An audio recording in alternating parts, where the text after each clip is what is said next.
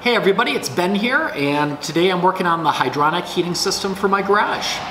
Uh, in front of me I've got some various parts I've been collecting, things like uh, circulator pumps, uh, shut-off valves, pipe flanges, uh, pump controllers, and over here I've got the actual heater itself. That's a 7,000 watt electric heater. Now I'm going to be going with electric because I've already got some pretty good power running to the garage uh, for things like an electric car charger, arc welding, that sort of thing. So I'm going with a nice beefy electrical system rather than using, for example, natural gas, which I'd have to run out here uh, additionally. Also, I'm trying to get away uh, from fossil fuels and I'll be able to use my banked grid tie solar power uh, to run everything out here, including the electric boiler. So let's take a look at the parts I got here so far. Okay, that right there is the boiler. It's uh, 7,000 watt, it's uh, 30 amp, uh, 240 volt, and it uses half inch pipe connections in and out, and it's flow activated. So you need a pump to pump the uh, antifreeze water mix through there, and that will activate it based on the temperature setting that you've got. Uh, I bought this used for 300 bucks. It's 500 bucks new at the store. I've also got two circulating pumps. This is a fractional horsepower pump. Uh, it's got three speed settings. It's uh, 120 volt powered, um, and then it uses a, a bolt-on flange, which is nice because I can, for example, solder copper to that flange, and then just bring the uh, pump up, set it in place, and bolt it in there. Uh, makes it easy to uh, shut off with the valves that are built into these flanges, and would be easy to replace if I have to do that. Now, the other thing is that I have two of these pumps, a primary and a secondary. The reason why is one of them is really uh, just for running the fluid through the heater, and the other one actually circulates it out to the PEX manifold and the PEX loops. Uh, also, this one here has a little bit different style flange connection. Uh, it has these uh, garden hose connectors here, so that's going to be used for filling and draining the system right there as well. I'm also using some spacers that uh, bolt onto the pipe and then uses a 3 8 inch bolt down to a plate I can screw to the plywood. And what this does is it allows me to space all of the components away from the plywood. Uh, I'm building this entire system down on a 4 foot by 4 foot square piece of plywood and a pump is a lot bigger, a lot thicker than a piece of uh, 3 quarter inch copper pipe. So this connects everything to the plywood and it also gives room for the, the pumps and the flanges and everything else. Okay, I'm up on a ladder now trying to give you the bird's eye view. I've uh, collected all the parts. Now, I could have just bought all these parts uh, at the store already put together, um, except uh, all of this, not including the heater and not including the manifold, just all this other stuff here, but pre-assembled, was $1,600 at the home improvement store. Uh, I looked at the parts that were in it, added them up in my head, and said I could probably build the same for about half the cost. So the way this works here is the hot liquid's going to come out of the heater. It's going to go through that pipe. Um, one thing I'm still missing, I need another thermostat. That's going to go right there, or a thermometer rather, so I can see how hot the water coming out is.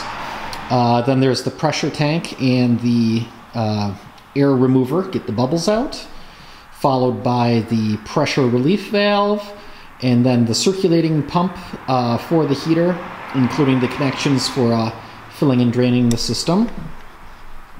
Uh, coming on down here to a purge valve, and then that's going to go to doo, doo, doo, out to uh, the the the feed end, the hot end, the supply end of the PEX.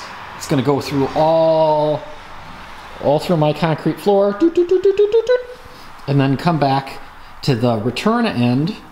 And from the return end, I'm going to come back to this pump here, around here, through the Y strainer. There's going to be another uh, thermometer so I can, uh, I'll be able to see the difference between um, the thermometer up here and the one down here for how much temperature drop. So how much heat uh, came out through the floor. And then it'll head back to the heater again.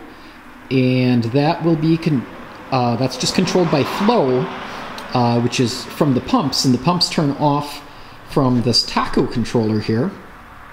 So basically, that gets wired up to uh, a thermostat, and then that will turn uh, the two pumps on and off based on the temperature setting in there. Also, the uh, the heater itself here. Oop, let's get focus. Um, that has a temperature setting on it uh, as well. So you can output 100 degree water, you could output 120 degree water. But you said it right there, I'll be working with relatively low temperatures. So I'm gonna experiment, I'll start off probably setting that to uh, about 100 degrees Fahrenheit.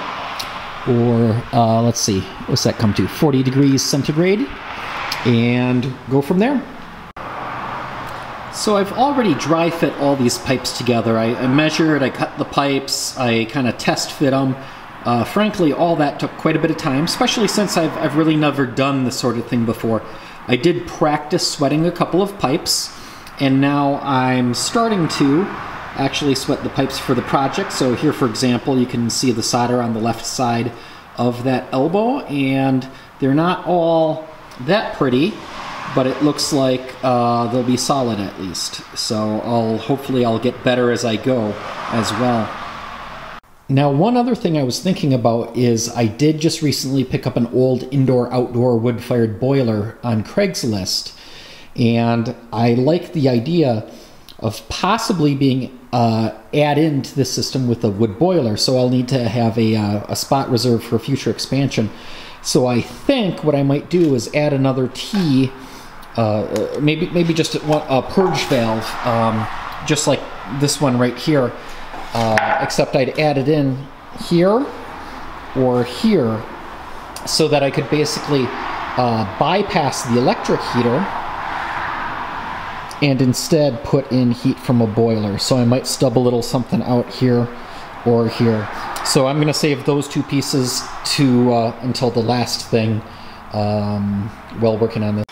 So if you've been watching my YouTube channel for a while, you probably know that uh, I'm not so much um, a master of everything as much as I just like to learn new things. This is the first time I've done a major plumbing project and uh, especially one that's uh, for heating. So I'm kind of learning as I go.